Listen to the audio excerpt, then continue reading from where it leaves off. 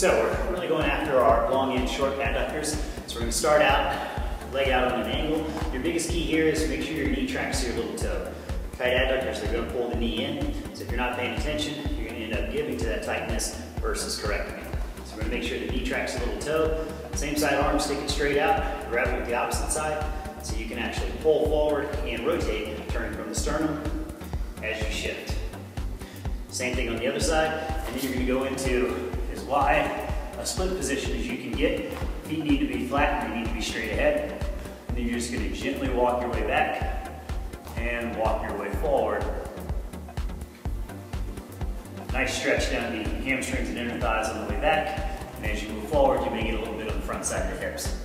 Come out of it, put the weight on your hands, bend your knees a little bit, and then come out of it. That's gonna be better than trying to come out of it when you're in a big stretch.